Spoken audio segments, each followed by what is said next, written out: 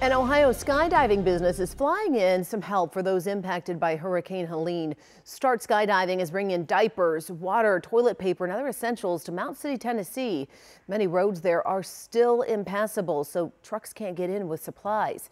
But planes can land on the local airport runway. The business will make multiple trips a day for a week or so to drop off those supplies. Start Skydiving is based in Middletown, and they are actively accepting donations.